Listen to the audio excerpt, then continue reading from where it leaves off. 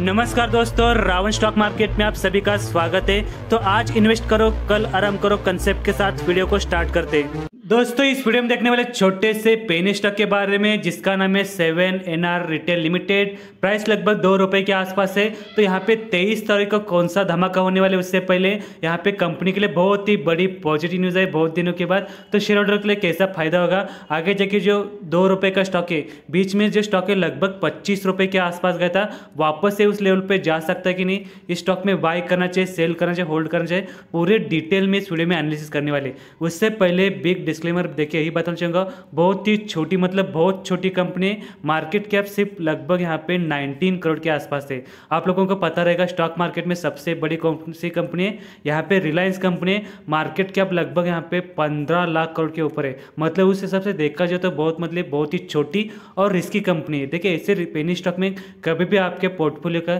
सिर्फ़ पाँच percent amount लगा के चलना चाहिए। अगर ऐसे स्टॉक चमक जाते तो थोड़ा बहुत आपको बहुत ही यहाँ पे रिटर्न बन सकता है। लेकिन ऐसे स्टॉक डूब जाते तो आपको कोई गम नहीं होगा। तो कभी भी अपने रिटेल स्टॉक यहाँ पे, कभी भी लालच के चक्कर में यहाँ पे ऐसे पेन स्टॉक में ज़्यादा अमाउंट नहीं लगाना चाहिए। कभी भी मार्केट में अगर सक्सेस होना है तो तीन रूल को फॉलो कीजिए। कभी लार्ज कैप में ज़्यादा पैसा लगाए, उसके बाद सेल्फ स्टडी कीजिए, खुद का स्टडी कीजिए, उसके बाद यहाँ पे बाय सेल का डिसीज़न लेना चाहिए। और जो थर्ड रूल है लॉन्ग टर्म का इन्वेस्टर बने। स्टॉक मार्केट में शॉर्ट टर्म में कुछ भी हो सकता है तो कभी भी लार्ज कैप के साथ लॉन्ग टर्म का शोल्डर बनना बहुत ही इंपॉर्टेंट रहते हैं। तो चले देख लेते हैं ऐसा कौन सा यहाँ पे न्यूज़ आया यहाँ पे। Seven N R retail limited के लिए।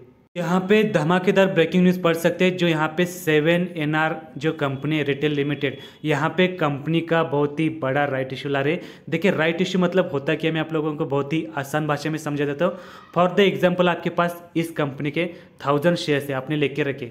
और यहाँ पे कंपनी का अभी करंट प्राइस क्या चल रहा है? यहाँ पे वन पॉइंट सिक्सटी थ्री पैसा चल रहा है। और जो राइट इशू कितने प्राइस पे आ रहा है? जैसे कि पढ़ सकते हैं आप लोग, यहाँ पे राइट इशू की जो प्राइस है वन पॉइंट फोर्टी पैसा है। मतलब जो राइट इशू का जो अमाउंट है वन पॉइंट फोर्टी पैसा डिसाइड किया है। मतलब अभी जिसके पास for the example thousand share है। मतलब वो लोग क्या करते हैं, यहाँ पे अप्लाई करते हैं राइट इशू के लिए, वहाँ पे उनको बहुत ही बड़ा डिस्काउंट मिल सकता है। मतलब जो करंट प्राइस पे आ रहा है right issue one point forty five पे आ रहा है तो यहाँ पे जो डिस्काउंट है, लगभग सिक्सटी परसेंट का यहाँ पे मेगा डिस्काउंट मिलने वाला है करंट शेयर होल्डर को। मतलब जिसके पास भी यहाँ पे शेयर्स रहेंगे, उनको लॉटरी लग सकते हैं, वो यहाँ पे राइट इशू के लिए अप्लाई कर सकते हैं। तो यहाँ पे राइट इश्यू का डेट यहाँ पे आया है।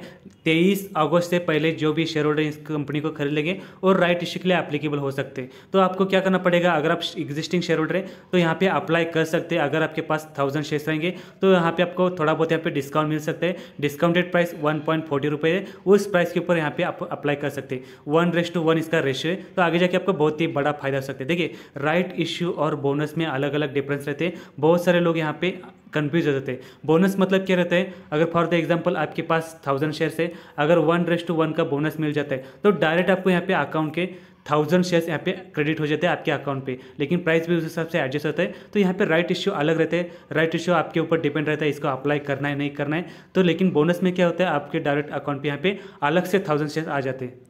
तो यहाँ पे क्वेश्चन रहेगा कि इसमें इन्वेस्टमेंट करना चाहिए कि नहीं करना चाहिए? देखिए, ऐसे स्टॉक पूरा ऑपरेटर ऑपरेट करते हैं तो ऐसे स्टॉक में रिस्क और रिवार्ड का रेशियो सेम ही रहता है। देखिए 2020 में देख सकते यहाँ से यहाँ तक कंपनी में बहुत ही बड़ी रैली थी, बहुत बड़े रिटर्न बने थे।